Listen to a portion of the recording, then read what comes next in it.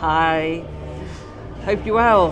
Um, I've just stopped for a bit of a refreshment between meetings. I've just met with a service provider that um, could be a potential partner. They implement technology and have many clients, but they they recognise that the piece that's missing in their engagement is organisational change management.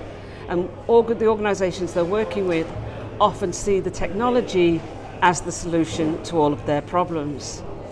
Um, but what happens is the technology is never the solution. If you have bad processes now, you'll have bad processes in a new tool. And if you're moving from one system to another, you need to take people with you. You need to explain why the technology is changing, what the benefits are going to be for them, what the benefits are for the organisation. There has to be a business case for the change. Not because it's just, oh, we've had this technology for three years and we don't think it's working, so we're going to get a new one. That is not the driving factor.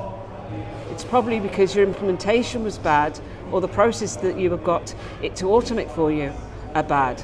So don't throw the baby out with the bath bathwater. Work with what you've got. But remember, it's all about the people side of change.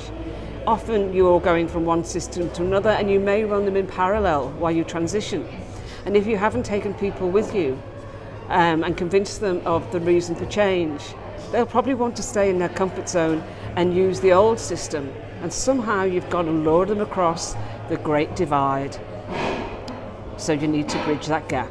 Talk to you tomorrow. Bye.